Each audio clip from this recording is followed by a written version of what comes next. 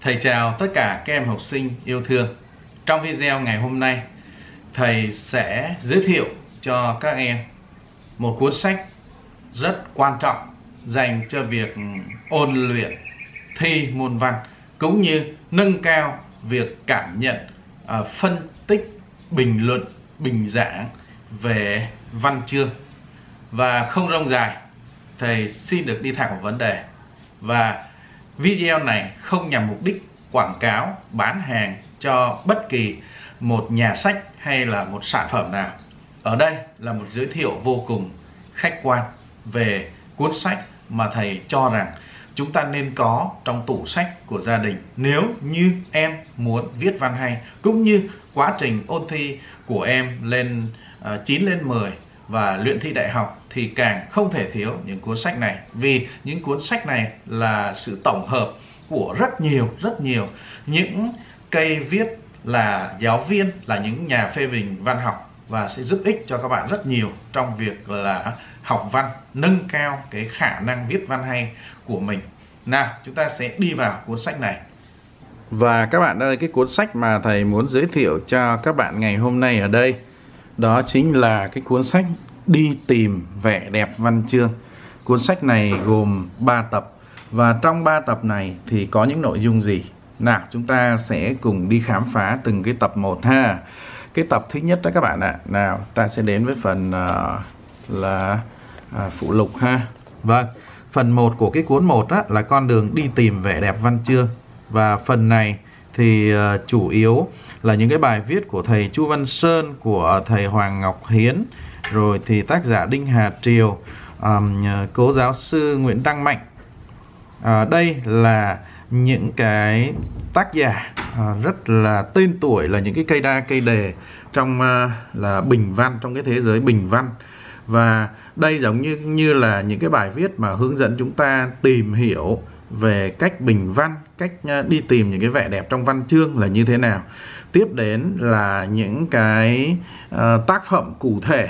Tiếp đến là những cái tác phẩm cụ thể và những cái tác phẩm cụ thể này các bạn ạ gồm những cái tác phẩm trong văn học trung đại à, rồi thì là lớp của cả cấp 2 và cả là à, lớp 10 nha các bạn.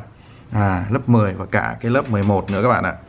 Đó và phần sau của cuốn sách này thì có một số à, những cái bài về văn học hiện đại à, như là à, các tác phẩm um, tuyên ngôn độc lập của tác giả Hồ Chí Minh rồi thì uh, Chí Phèo ha, à, ờ, lão hạc, à, rồi thì đời thừa. Rồi thì uh, những cái tác phẩm như trong lòng mẹ hay là người lái đò sông đà vợ chồng a phủ uh, bến quê. Rồi những cái bài thơ uh, hiện đại như là đồng chí rồi nguyên tiêu hay là bài nhớ rừng ở cấp 2 uh, vân vân và vân vân. Thì cái cuốn sách này là phù hợp cho cả là học sinh cấp 2 và học sinh cấp 3 là nên mua. À, trong đó đặc biệt liên quan đến những cái kiến thức thi à, ôn thi vào đại học cũng nằm trong cái cuốn số 1 này. Đó là cuốn số 1 nha các bạn. Rồi ở cuốn số 2 thì cuốn số 2 ấy là cái cuốn mà theo thầy nghĩ rằng là học sinh cấp 2 thì nên tìm mua.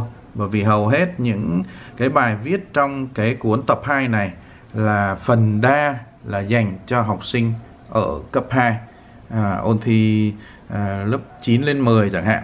Và những cái bài viết từ lớp 6 những cái tác phẩm văn học từ lớp 6 cho đến lớp 9 và trong tập 3 thì có gì? Thưa các bạn trong tập 3 thì à, à, đi tìm vẻ đẹp văn chương này chủ yếu là à, sưu tầm những cái bài bình giảng và bài nghiên cứu chuyên sâu về chương trình ngữ văn cấp 3, đặc biệt là những cái tác phẩm ôn thi đại học. Vì vậy, các em học sinh là lớp 12 thì chúng ta nên quan tâm đến cuốn này. Và chốt lại là nếu như chúng ta à, là học sinh cấp 3 thì nên mua cuốn 1 và cuốn 3. Còn nếu là học sinh cấp 2 thì chúng ta nên mua cuốn 1 và và cuốn 2 còn nếu có tiền thì chúng ta nên mua cả ba cái cuốn này các bạn ạ. Bởi vì ba cuốn sách này đều là những cái cuốn sách rất là giá trị, nha các bạn. Như vậy thì chỉ qua ít phút như thế, chắc chắn các bạn sẽ thấy rằng là đây đúng là những cái cuốn sách mà bạn cần.